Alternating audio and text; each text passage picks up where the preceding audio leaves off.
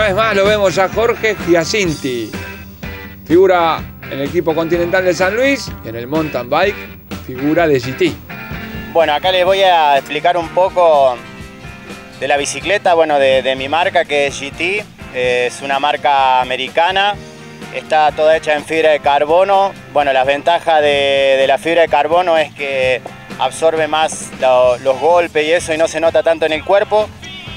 Tiene la particularidad de tener un triple triángulo, como se le dice, que las vainas traseras terminan así para que, para que sea más rígida la bicicleta en esa parte.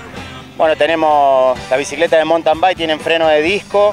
Esta en particular tiene un grupo Shimano de 10 velocidades.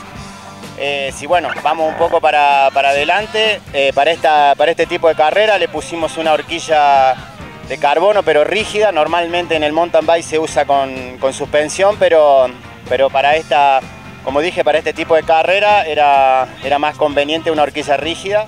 También tiene freno disco delantero, tenemos un manubrio también de carbono para que sea más liviano y también para que absorba mejor las vibraciones.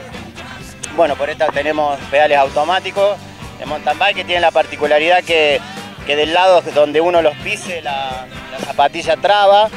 Y bueno, el resto, las ruedas, tienen la particularidad también de no tener cámaras, son ruedas túbeles y tienen un líquido adentro que son antipinchazo que que bueno, que llegan a tapar hasta, hasta un orificio de, de 5 milímetros.